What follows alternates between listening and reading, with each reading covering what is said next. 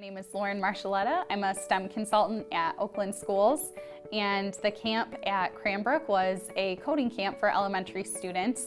Um, the main goal of the camp was to explore really the foundation of computer science and different coding concepts through a variety of methods. We had them using robots like Dash and Botley to give them a little bit more technology. And then we also had them using programs like Scratch Junior and um, CodeSpark to really cement um, that understanding of the concept. They got to speak to a cybersecurity specialist and they got to learn about what cybersecurity is, how we keep our information safe, what his day-to-day -day job looks like, and I think it was a really great opportunity to show them what a career in that field can look like. They also had an opportunity on one of the days to do some yoga, to practice some mindfulness. We were very fortunate to host the uh, coding camp at Cranbrook. They got to go through the planetarium, they got to see different exhibits in the museum, um, they got to participate in an electricity magic show